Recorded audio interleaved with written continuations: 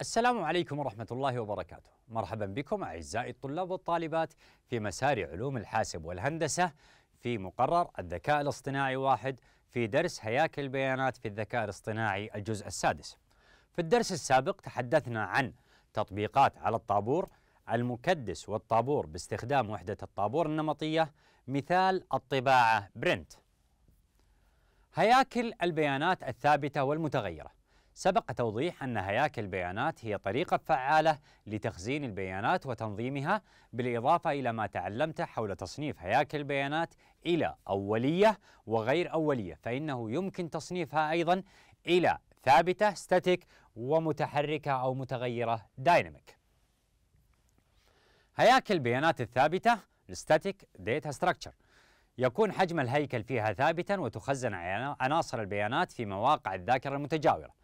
تعد المصفوفة. الري المثال الأبرز لهياكل البيانات الثابتة. إذا لدينا هنا حجم الهيكل ثابت في البيانات الثابتة. لدينا حجم الهيكل ثابت. إذا بما أن الثابت فستخزن في مواقع متجاورة في الذاكرة. أبرز الأمثلة على هياكل البيانات الثابتة هي المصفوفة الري. هياكل البيانات المتغيرة. Dynamic Data Structure. لا يكون حجم الهيكل فيها ثابتا ولكن يمكن تعديله أثناء تنفيذ البرنامج. إذا يمكن تعديله أثناء تنفيذ البرنامج حسب العمليات المنفذة عليه. تصمم هياكل البيانات المتغيرة لتسهيل تغيير حجم هيكل البيانات أثناء التشغيل. وتعد القائمة المترابطة Linked List المثال الأبرز لهياكل البيانات المتغيرة. مقارنة بين هياكل البيانات الثابتة والمتغيرة من حيث حجم الذاكرة. نلاحظ أن الثابتة حجم الذاكرة فيها ثابت والمتغيرة يمكن تغيير حجم الذاكرة أثناء التشغيل لأن المساحة متحركة في المتغيرة فيمكن تغيير حجم الذاكرة. أما في هياكل البيانات الثابتة من بداية التعريف يكون الحجم معلوم إذا حجم الذاكرة ثابت. أنواع ذاكرة التخزين. تخزن العناصر في الثابتة في مواقع متجاورة في الذاكرة الرئيسة. إذا مواقع متجاورة متجاورة. أما في المتغيرة تخزن في مواقع عشوائية في الذاكرة الرئيسة. من حيث سرعة الوصول إلى البيانات الثابتة أسرع والسبب أنها متجاورة النقطة السابقة لها. سبب سرعة الوصول البيانات أنها أسرع في الثابتة. السبب هو النقطة الثانية أنها تخزن في مواقع متجاورة لذا يسهل الوصول إليها وتتبع أجزائها. أما في المتغيرة تكون أبطأ بسبب ماذا؟ أن العناصر في مواقع عشوائية من الذاكرة. تخصيص الذاكرة memory allocation تنتمي القوائم المترابطة. ال linked list إلى هياكل البيانات. قلنا أنها مثال على هياكل البيانات. المتغيرة ال dynamic. وهذا يعني أن عقد القائمة المترابطة لا تخزن أو عقد القائمة المترابطة لا تخزن في مواقع الذاكرة المتجاورة مثل البيانات في المصفوفات. ولهذا السبب تحتاج إلى تخزين المؤشر من عقدة إلى أخرى. لذلك نلاحظ في الذاكرة الثابتة نلاحظ في الخانة الأولى ثم الثانية ثم الثالثة والرابعة والخامسة في حال وجود سادسة سابعة ثامنة تاسعة وهكذا. نلاحظ أنها تسير بهذا الشكل للتخزين في الذاكرة في الذاكرة الثابتة. إذا تحتاج المصفوفات إلى لبنة ذاكرة متجاورة بينما في المتغيرة نلاحظ لدينا هنا يكون الجزء الأول من الملف وبإمكانك أن تضع الجزء الثاني هنا والجزء الثالث هنا.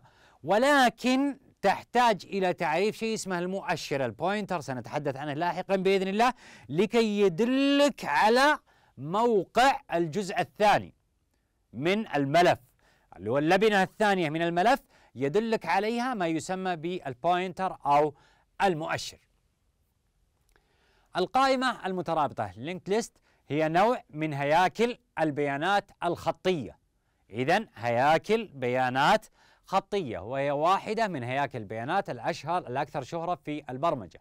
القائمة المترابطة تشبه سلسلة من العقد تحتوي كل عقدة على حقلين. حقل البيانات وتخزن به البيانات وحقل يحتوي على المؤشر.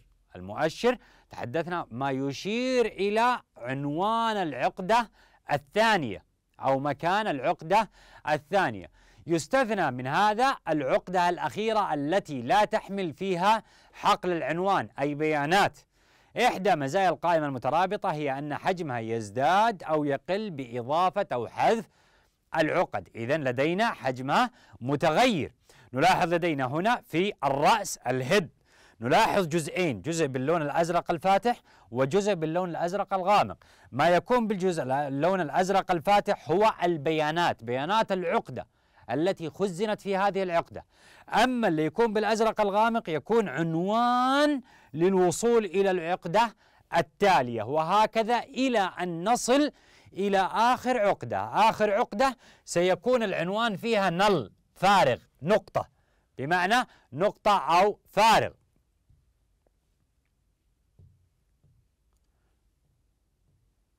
إذا القائمة المترابطة اللينك ليست هي نوع من هياكل البيانات الخطية التي تشبه سلسلة من العقد. العقدة هي اللبنة الفردية المكونة لهيكل البيانات وتحتوي على البيانات ورابط واحد أو أكثر من الروابط التي تربطها بالعقد الأخرى. إذا العقدة نود تتكون كل عقدة في القائمة المترابطة من جزئين. تحدثنا أنها تتكون من جزئين تتكون لدينا من جزئين. حقل البيانات هو الجزء الأول هو حقل البيانات والجزء الثاني هو مؤشر للعقدة التالية. إذا الجزء الثاني من القائمة المترابطة من العقدة الجزء الثاني هو دليل يدلك أو عنوان يربطك بالعقدة التالية. إذا الجزء الأول يحتوي على البيانات الجزء الثاني يحتوي على مؤشر يشير إلى العقدة التالية لقراءة محتوى عقدة محددة. عليك المرور على كل العقد السابقة. لتشاهد أو نشاهد مثالا على القائمة المترابطة للأعداد الصحيحة. تتكون القائمة المترابطة من خمس عقد نلاحظ لدينا هنا تبدأ من الرأس دائما الهيد لدينا موجود. العقدة الأرقام المطلوبة لدينا هي ثلاثة الأعداد الصحيحة ثلاثة 12 واحد 95 و 21 باللون الأزرق الفاتح باللون الأزرق الغامق هو عنوان للربط مع العقدة التالية. إذا للربط مع العقدة التالية. القيمة الفارغة تعني أنها بلا قيمة أو غير محددة أو فارغة على الرغم من أنه في بعض الأحيان نستخدم الرقم صفر للإشارة إلى القيمة الفارغة إلا أنه رقم محدد وقد يشير إلى قيمة حقيقية. إذا لا نستخدم الصفر هنا ولكن نستخدم النل قيمة فارغة لأن الصفر يعتبر قد يكون مؤشر لعقدة محددة. فنستخدم النل. العقد في القائمة لا يكون لها اسم وما تعرفه عنها هو عنوانها الموقع الذي تخزن فيها العقدة في الذاكرة. للوصول إلى أي عقدة بالقائمة إذا كان لديك قائمة وتريد الوصول إلى أي عقدة فيها تحتاج إلى معرفة عنوان العقدة الأولى بشكل سلسلة. حتى لو كانت الخامسة أو السادسة ترغب بالوصول مثلا العقدة السادسة يجب أن تعرف عنوان الهد الرأس. العقدة الأولى. وعن طريقها ستدلك إلى عنوان الثانية والثانية تدلك على عنوان الثالثة والثالثة إلى الرابعة ثم إلى الخامسة ثم تصل إلى الهدف المنشود وهي العقدة مثلا السادسة. إذا نحتاج إلى معرفة عنوان العقدة الأولى. ثم تتبع سلسلة العقد للوصول إلى العقدة المطلوبة. على سبيل المثال إذا كنت ترغب في الوصول للعقدة الثالثة هذه هي العقدة الثالثة رقم 30 نرغب في الوصول للعقدة رقم 30 عليك البدء من العقدة الأولى اللي رقم 15 من العقدة الأولى تصل إلى الثانية ومن الثانية تصل إلى الثالثة. عنوان العقدة الأولى مخزن في متغير خاص مستقل يطلق عليه عادة اسم الهد الرأس. يطلق عليه اسم الرأس. قيمة مؤشر العقدة الأخيرة في القائمة قيمة فارغة نل. ويمثل بالرمز الدائرة. نلاحظ لدينا هنا قيمة فارغة. يمثل بالقيمة نل. عندما تكون القائمة الفارغة تشير مؤشر الرأس إلى القيمة الفارغة نل. نلاحظ العقدة الأولى. من الرأس نبدأ. العقدة الأولى تدلنا على الثانية والثانية تربطنا مع الثالثة. بهذا الشكل إليك مثالا توضيحيا على القائمة المترابطة كما ذكر من قبل. فإن كل عقدة تتكون من بيانات ومؤشر يشير إلى العقدة التالية بحيث تخزن كل عقدة في الذاكرة في عنوان محدد. لنربط العقدة السابقة بالعقدة التالية بقيمة بيانات 42 التي بدورها تشير العقدة الثالثة والأخيرة عند عنوان 30 بقيمة بيانات 37 إذا البيانات لدي هنا قيمتها 37 أما 30 فهو عنوان فهو مؤشر. لدينا هنا هو مؤشر. من يرتبط فيه؟ يرتبط فيه العنوان في العقدة السابقة. نفس الوضع عندي هنا 20 يرتبط بالعنوان في العقدة السابقة. المؤشر البوينتر عندي هنا. أما البيانات فهي 15 42 37 الأرقام اللي تراها 20 هذه حتى تربطك مع العقدة التالية. 30 تربطك مع العقدة التالية. إلى أن تصل إلى النل تعرف أن سلسلة العقد انتهت. إلى أن تصل إلى النل. لو كان هنا قيمة أعرف أن هنالك عقدة تليها. وهكذا إلى أن تصل إلى هذا الرمز بمعنى أن سلسلة العقد انتهت هنا. لدينا هنا هذا عنوان الرأس. ودائما يخزن فيما يسمى بالهيد كمتغير خاص مستقل يسمى الهيد إذا إذا أردت القيمة السبعة وثلاثين سأحتاج إلى أن أصل إلى العنوان عشرة. لماذا؟ لأنه ال head عنوان العقدة الأولى في السلسلة. فالعشرة يبي يوصلني لبيانات ال 15 اللي مربوط فيها ال pointer 20 ال pointer 20 سيوصلني إلى بيانات 42 اللي فيها ال pointer 30 ال pointer 30 سيربطني في البيانات 37 اللي بنهاية العقدة. بإذن الله إن شاء الله انها تكون واضحة، اذا مثال العقده بيانات العقدة رقم 15 عنوان العقدة في الذاكرة هو 10 اللي يسمى العنوان أو الرأس الهد اللي يربطك في هذه السلسلة أو في هذه العقد. يربطك فيها الرأس. دائما تأخذ عنوان الرأس هو المخزن في الذاكرة. بعدها خلاص متصلة مع بعضها البعض. العقد متصلة مع بعضها البعض. البيانات لدي رقم 15 والعنوان التالي رقم 20 20 هذا أين يرتبط؟ هذا العشرين يرتبط في العقدة التالية. نصل إلى بيانات 42 يأتينا العنوان 30 يربطنا ك pointer أو مؤشر للعقدة التالية وهكذا. بهذا الشكل. الاختلافات بين القائمة والقائمة المترابطة. في طريقة تخزين في الذاكرة المواقع في القائمة متجاورة في الذاكرة ال list. أما في ال linked list مواقع عشوائية. اتفقنا في القائمة أنه يخزن في الذاكرة لأنها ثابتة قيمة ثابتة تخزن في المكان الأول الثاني الثالث الرابع. أما في القائمة المترابطة تخزن في أماكن عشوائية بإمكانك أنك تضع في الأول ورقم 15 في الذاكرة ورقم 32 ولكن تربط بينهم بالمؤشر البوينتر حتى تصل إلى إكمال باقي العقد. لدينا الهيكل يمكن الوصول إلى كل عنصر برقم الفهرس ال index. إذا لدينا الهيكل عندنا ال index. اتفقنا في القائمة أنه يوجد أسفل من القيم البيانات ما يسمى بال index الفهرس ويبدأ من الرقم صفر في الخلية الأولى وهكذا إلى أن يصل إلى آخر القائمة. أما في القائمة المترابطة هنالك ما يسمى بال pointer المؤشر. يخزن واحد من قيم المؤشر فقط اللي هو أول عقدة في هذه القائمة المترابطة. تخزن في متغير مستقل في الذاكرة يسمى ال pointer المؤشر ويرتبط باقي العقد ترتبط مع بعضها البعض. كما ذكرنا أن كل عقدة تحتوي على جزئين جزء البيانات وجزء المؤشر أو العنوان للعقدة التي تليها. في الحجم يخزن كل عنصر عنصر تلو الآخر. السبب لماذا؟ مثل ما ذكرنا هنا أن المواقع متجاورة في الذاكرة. فإذا تحتاج إلى index يبدأ من صفر وتبدأ الأعداد الصحيحة فيه. أما هنا تخزن البيانات في صورة عقد تحتوي على البيانات وعنصر أو عنوان العنصر التالي. لماذا؟ لأنها في مواقع غير متجاورة فتحتاج إلى عنوان حتى تكون السلسلة متصلة من بعض البعض. في استخدام الذاكرة قلنا أنها تخزن البيانات وحدها في الذاكرة. إذا بما أنها متتالية لا حاجة للعنوان. بما أنها متتالية في القائمة لا حاجة إلى تخزين عنوان. إذا فقط block بيانات أو قطعة بيانات في القائمة. ولكن في القائمة المترابطة اتفقنا أنه يكون من جزئين جزء فيه ال data البيانات وجزء فيها ال pointer أو المؤشر أو العنوان للجزء الآخر. إذا في استخدام الذاكرة هنا نخزن البيانات والمؤشرات. نوع الوصول للبيانات هنا وصول عشوائي إلى أي عنصر بالقائمة. ولكن في المترابطة لا وصول متسلسل إلى العناصر بسبب ال pointer أو العناوين التي تقودك إلى العنوان الآخر. سرعة الإضافة والحذف في القائمة بطء إضافة العناصر وحذفها. أما في القائمة المترابطة سرعة إضافة العناصر وحذفها. هذا الجدول الاختلافات بين القائمة والقائمة المترابطة. القائمة المترابطة في لغة البايثون linked list in Python.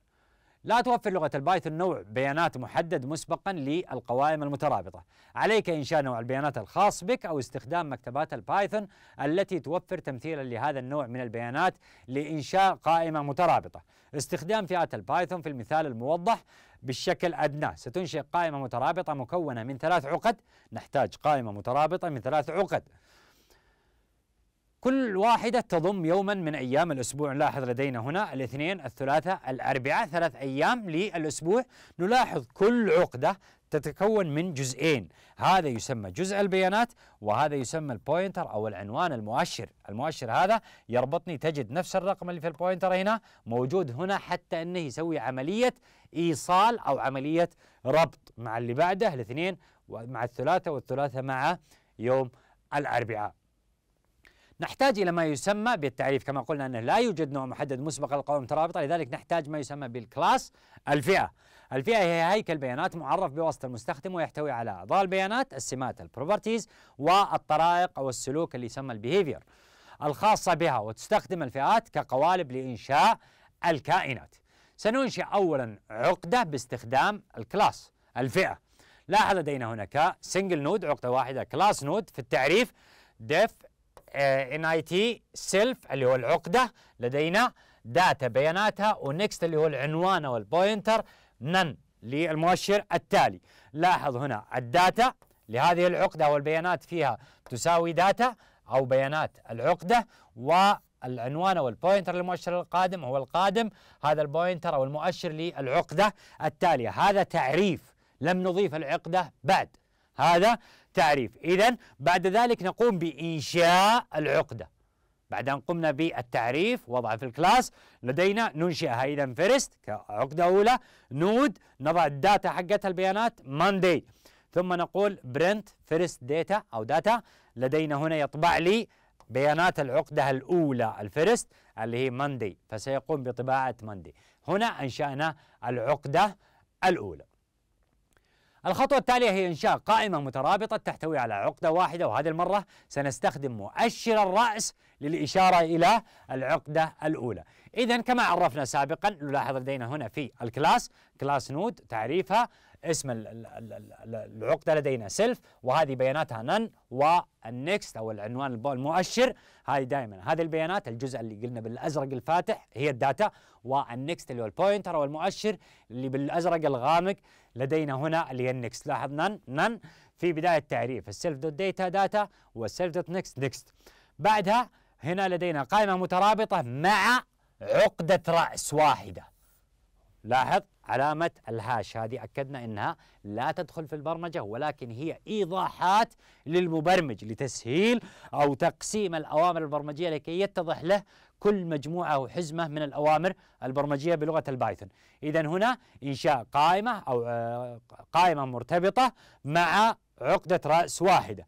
لدينا هنا list في ال class والتعريف ال self self dot head None لاحظ عقدة رأس لدينا هنا.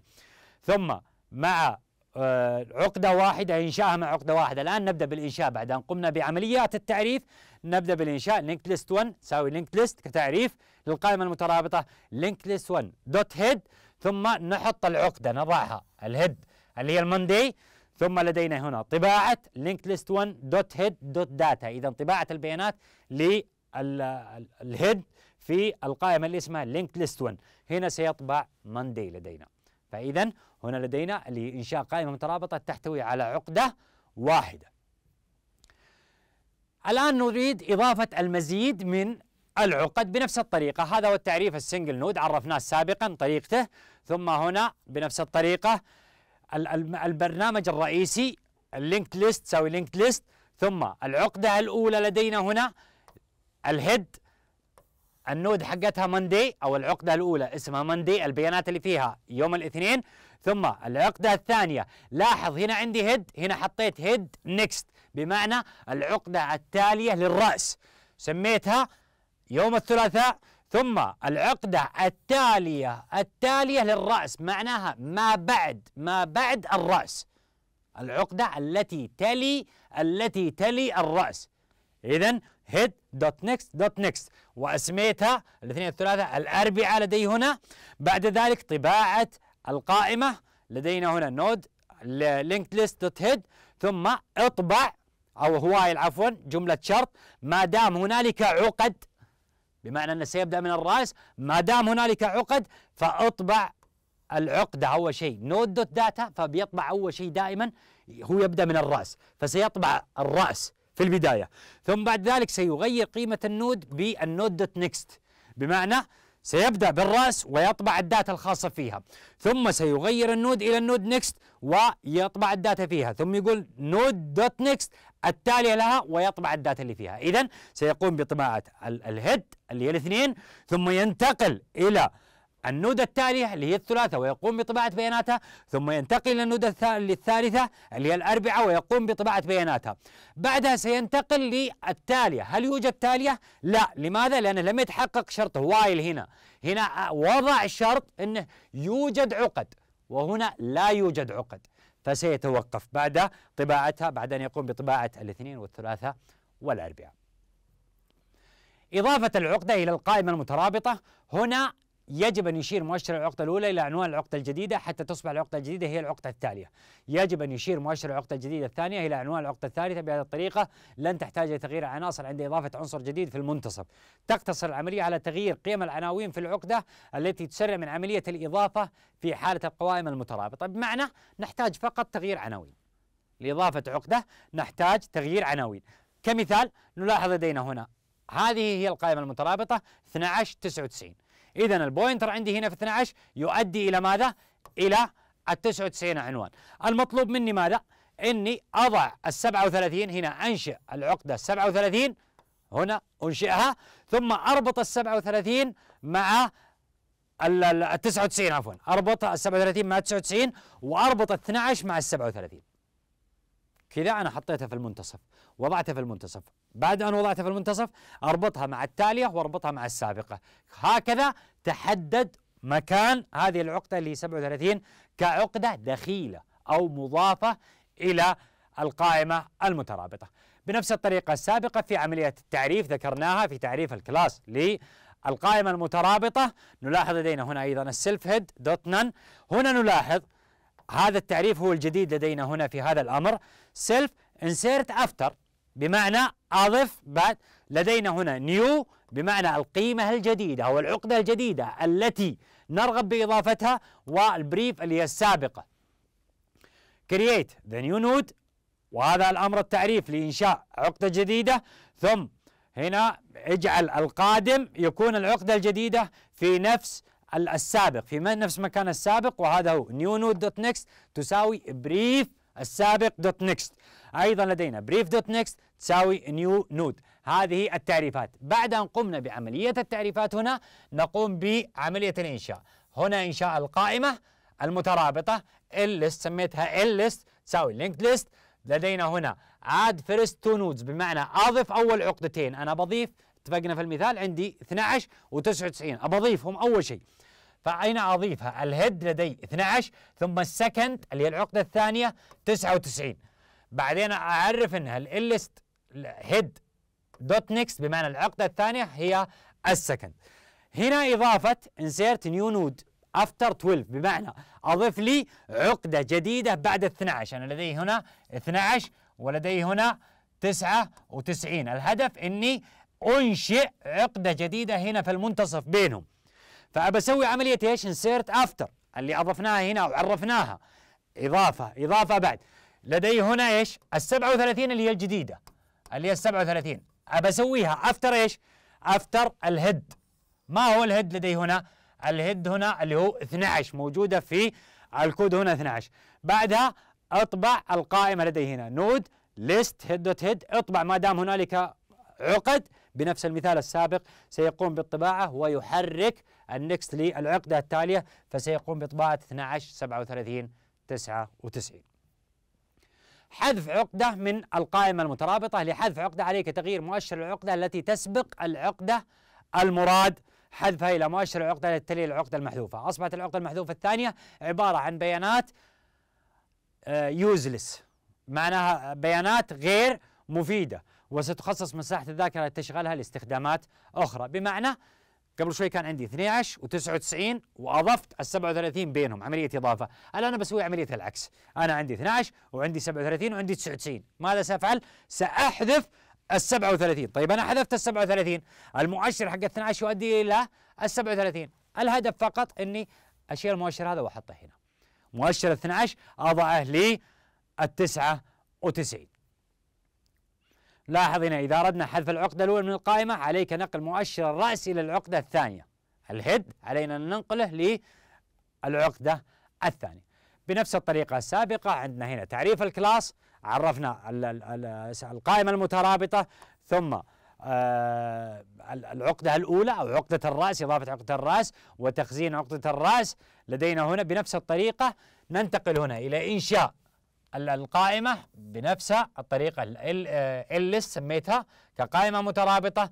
ثم هنا ال head حطيت ال node 12 ال second 37 ال third 99 head second third بمعنى 12 لدي هنا 12 و 37 و 99 ثلاث قوائم. هذه سميتها ال head وهذه ال second وهذه ال third بعد ذلك لدي هنا ال list dot head next سميتها next second آه، عفوا اللي هي التالية للراس و second dot next يعني معناها التالية للعقدة الثانية تكون هي الثالثة. بعد ذلك حذف ال 37 delete node نلاحظ لدينا هنا عرفنا ال delete node ال delete node هنا. لاحظ لدينا هنا ال key معناها ما سيتم حذفه أو المفتاح أو التي أرغب بحذفها. نلاحظ ال key هنا وضع لي رقم 37 اللي هي العقدة هذه أنا أرغب بحذفها.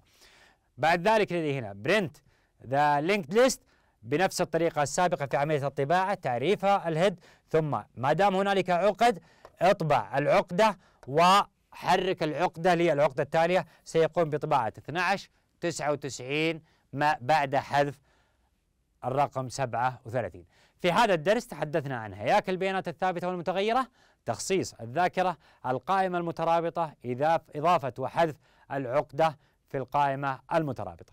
سؤال قارن بين هياكل البيانات الثابتة والمتغيرة.